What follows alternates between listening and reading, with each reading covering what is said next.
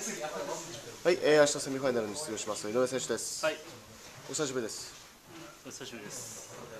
体調いかがですか？体調いいっす。調整はうまくいきましたか？そうですね。ぞ増量に成功して今回減量が多かったんですけど、まああのいい感じでできましたね。体ちょっと大きくされましたか？いやもうそれ結構意識してずっとこう1年ぐらいやってるつもりなんですけど、はい。えー、相手のジャイアンツ選手の印象は？ああでもライトヘビーから落としてきてる選手ですね。まあ組み合とか強い選手かなっていうイメージがあります。はい。どうやって戦いましょうか？そうですね。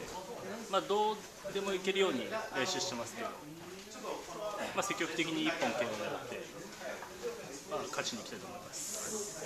えー、明日前のお客さんがご来場されるようです。そうですね。はい。満員のお客さんで初めてセミファイナルっていうあれなんで、まあやっぱも盛り上げられたら一番いいなっていうふうに思ってますね。新人王対決期待してます。あ。